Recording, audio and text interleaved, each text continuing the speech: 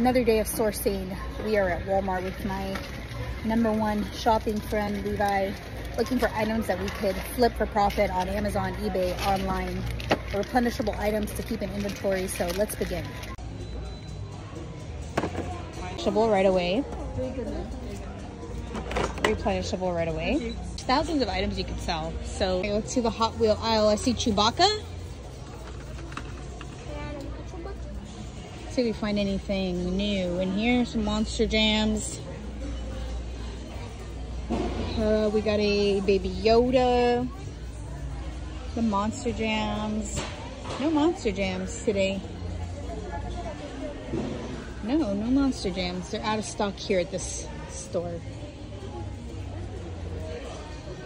While you check every aisle, somebody left this.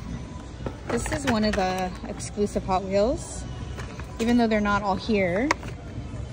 This is a Chrysler, but this one, this is a new Hot Wheel. As always to go through every aisle. Sometimes I go through the aisles twice. I've talked about how sometimes we miss things. Uh, it's very important to make sure that you do a thorough search. There's so many toys. Um, you don't want to miss anything. Pick these up today. I usually don't sell Among Us, but I got a few of them. I'm going to try these out. I'm going to show you this one is, all the costs are, these are $9. They're going for over $24, $25 for this particular special edition. Yeah. All for today. We just did a quick little source with Levi.